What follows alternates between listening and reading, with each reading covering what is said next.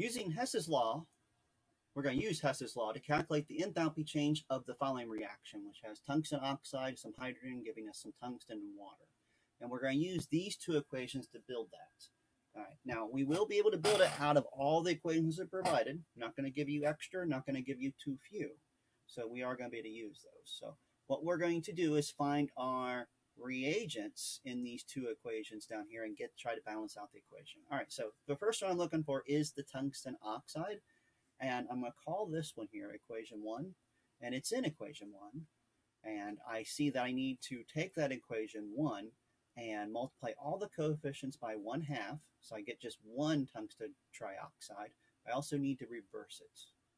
And that's what I'm going to do. So I have just tungsten oxide but on the product side, I'd have just a single tungsten and three halves of an O2 gas.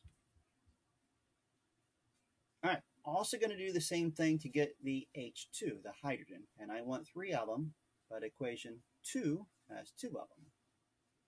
So I'm going to take equation 2 and multiply by 3 and divide by 2.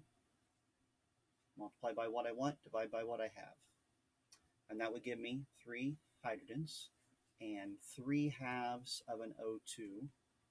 I'll make sure I put phases there because sometimes those change and this will be just three waters.